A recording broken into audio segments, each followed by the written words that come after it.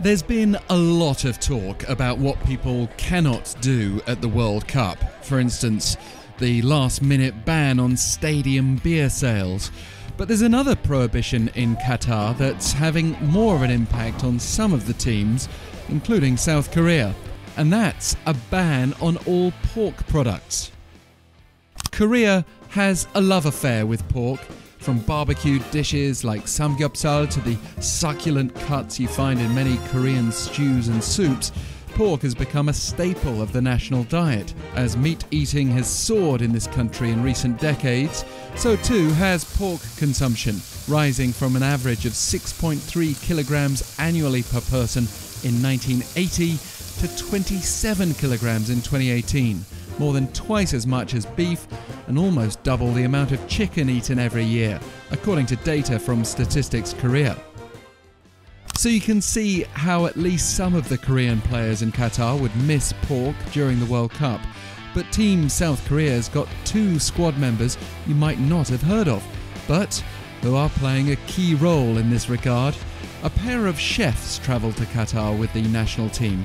They are Kim Hyung Tae and Shin Dong Il, veteran chefs of four straight World Cups.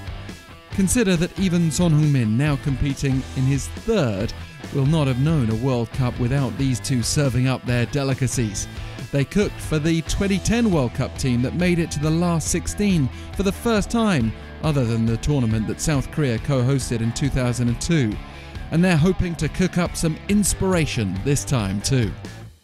So, what are they making in Doha?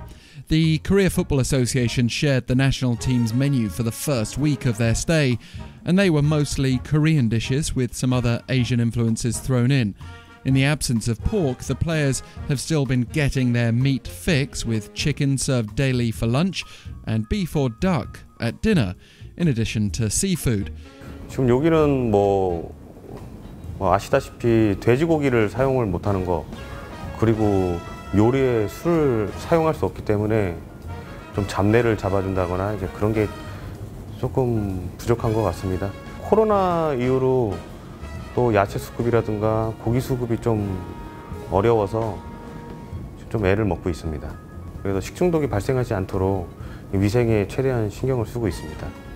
그래서 저희가 식단을 짰었을 때 전반적으로 다 골고루 섭취할 수 있을 정도로 저희가 준비는 하고 있으니까 저녁은 또 한국 문화, 전골 문화다 보니까 정보를 계속 변화를 주면서 저희가 준비하고 있습니다.